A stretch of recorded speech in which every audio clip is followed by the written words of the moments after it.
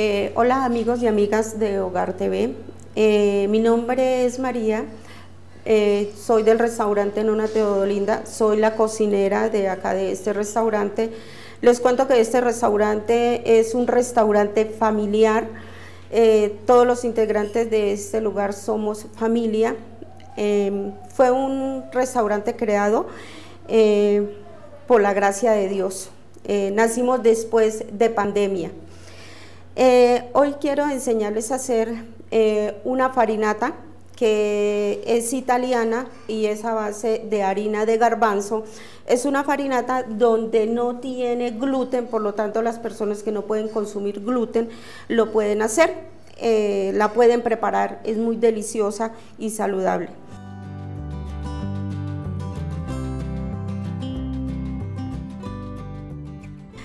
Eh, nuestra base es, lo más lógico, la harina de garbanzo, lleva sal, eh, polvo de hornear, lleva ajo, eh, orégano, ¿sí? Esa es nuestra primera parte para hacer nuestra base. Lo, hacemos en un bol, revolvemos absolutamente todo de a, de a poquito, ¿sí? Poquito de todo a nuestro gusto normalmente, porque hay gente que también puede ser que se, eh, tengan eh, problemas de salud y no puedan consumir eh, muchos ingredientes. La revolvemos.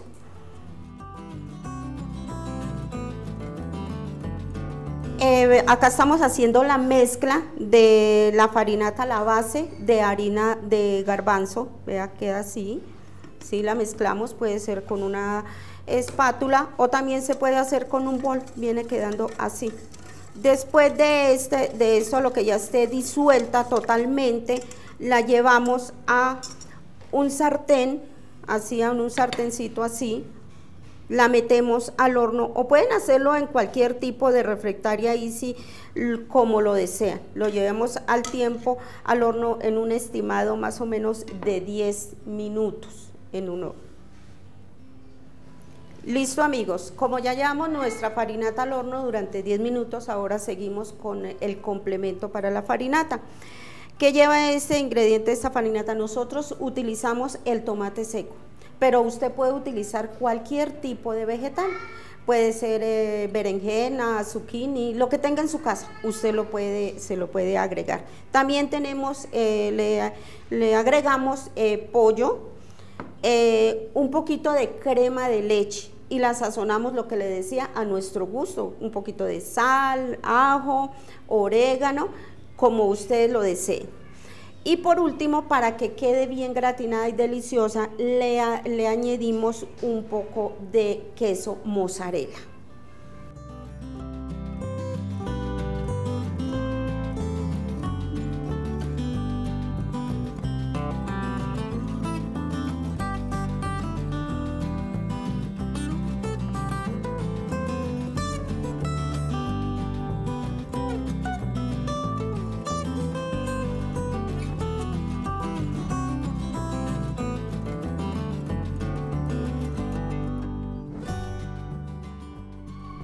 Vea amigos, este es eh, ya toda la preparación, eh, lo vamos a llevar por unos minuticos a nuestro fogón eh, para que todos los sabores se complementen, se mezclen y así la llevamos a gratinar con el queso mozzarella al horno nuevamente por 5 o 10 minutos o lo que dependiendo de la cantidad de su horno caliente.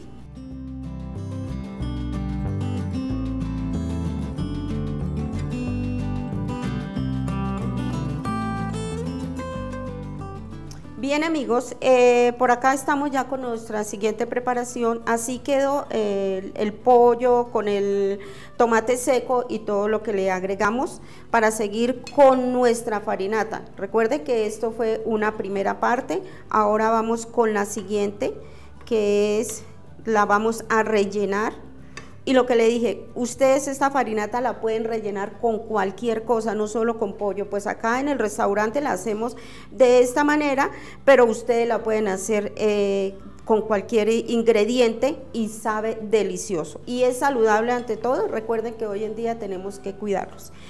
Eh, por último, le agregamos el queso mozzarella para llevarla al horno a gratinar por unos 10 minutos nuevamente.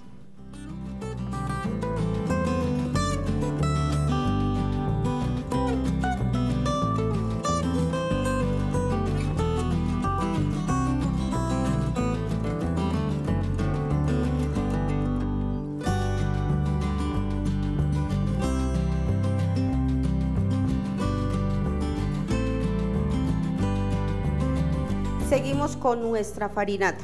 Eh, vea, así es como queda la farinata después de que sale del horno, pero para complementarla y para que quede todavía más deliciosa, le picamos un poquito de albacón, se lo agregamos encima de esta manera. Y vea cómo queda nuestro delicioso plato un plato exquisito, lo recomiendo y muy saludable. Listo amigos, así le damos finalidad a la preparación de nuestra farinata de pollo. Eh, no se le olvide que nos encuentra en todas las redes sociales como Nona Teodolinda.